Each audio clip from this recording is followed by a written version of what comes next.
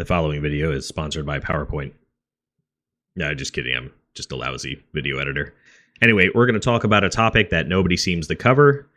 And I've been asked a thousand questions, whether it's on Spectrum, Reddit, or in game chat, what a beacon is, how to use a beacon, and why to use a beacon.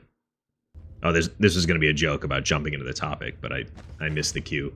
So we're just going to roll right into personal transport beacons. They are used to transport your person. They are extremely handy. A lot of bugs in the game. If you get separated from your ship during quantum, which is still a common thing in 3.22.1, if you get soft death in space and you need to ride back, if you drop out of your ship, if you land your ship somewhere and it becomes inoperable, it's just an easy way to get someone to come pick you up. It used to be handy for taking you to your ship if you lost track of it, but that no longer works as of 3.21 and still hasn't been fixed as of 3.22.1. Anyway, this is how you create one. You're going to go into F1 contracts, go up to beacons, and over to create beacon. And then there are only three types of beacons to choose from, so you're going to pick personal transport and go through the arduous process of picking a destination.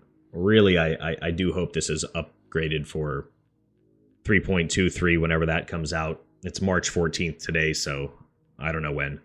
But you'll pick a destination. You can ignore the rep thing, that doesn't do anything. And set your amount.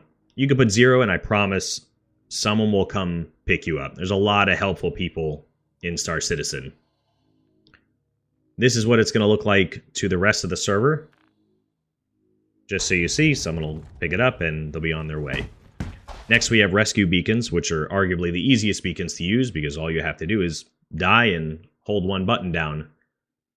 So while you're looking at that black and gray purgatory, a message is going to pop up in the bottom of your screen that says, hey, you can commit suicide and start all over again. Claim your ship, get all your gear, wait and run and trams and transit and bugs and desync and whatever, or you could just sit tight for a moment, you know, grab a cup of coffee, take a leak, and someone will be on their way out to get you for 15,000 bucks, which is remarkably cheap. This is what it'll look like to every other player. They'll grab it and they'll be on their way.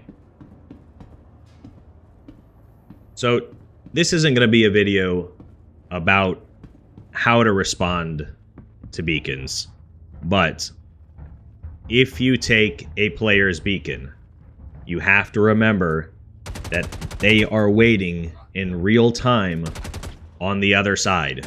This is the only mechanic in the game where a player is waiting on somebody else. Do not dilly-dally. If you have a slow ship, if you aren't geared up, don't make someone wait unnecessarily. You grab the beacon, get off your ass, get in your ship, and blast off. Make best speed to that person because you don't want to wait, and nobody else should have to wait either. Just be aware of that. If you're new, maybe tag along with somebody for the first few to get a, a feel for it.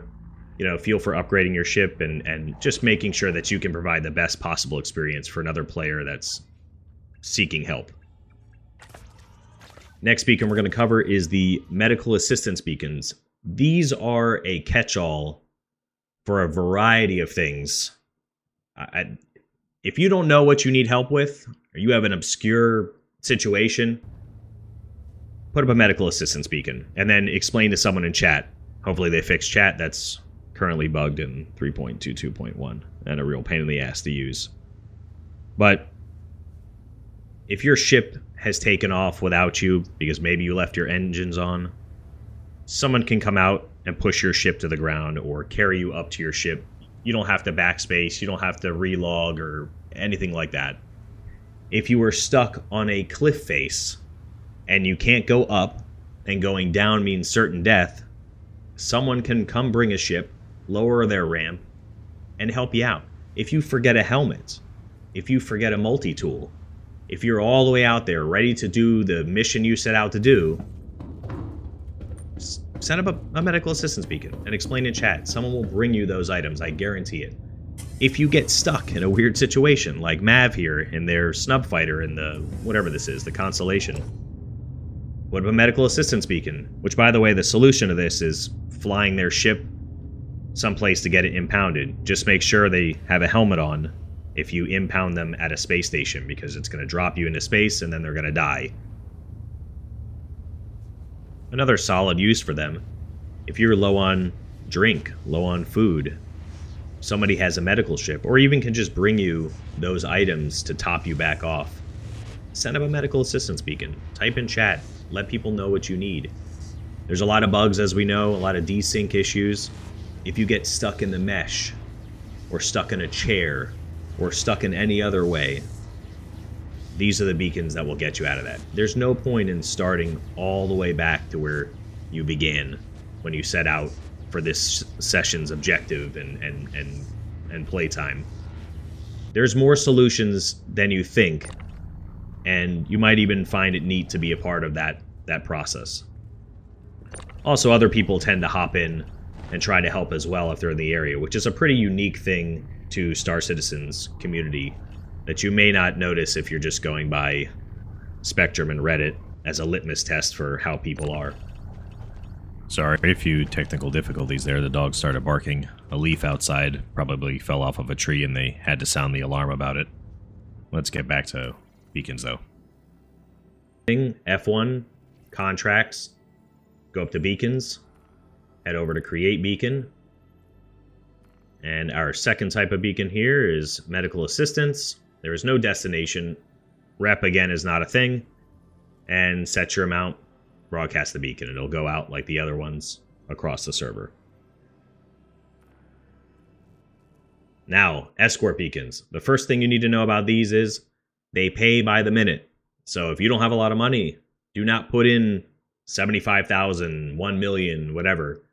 Once that person gets into the radius of that beacon, it will start paying them by the minute. This is the closest thing we have to, say, a combat assistance beacon. So I panicked in this footage.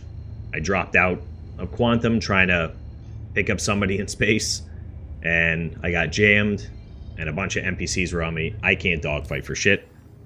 So I immediately hopped in there to try to make a quick escort beacon. Unfortunately, someone grabbed it immediately, took off, got out there, and saved my space ass. So, there's all you need to know about escort beacons. They don't really have much of a place right now. Final thoughts. Let's see here. A lot of people don't know what these are. And hopefully, if you are one of those people, you're a little bit more well versed now. You can use these safely. There's a lot of hoopla on Spectrum and Reddit that beacons are traps. Yes, you're gonna come across the odd instance where someone steals your pants, shoots you in the face. That's a very rare occurrence and is highly over exaggerated. Do not worry. Use the beacons. The Star Citizen community is extremely helpful. You'll be alright.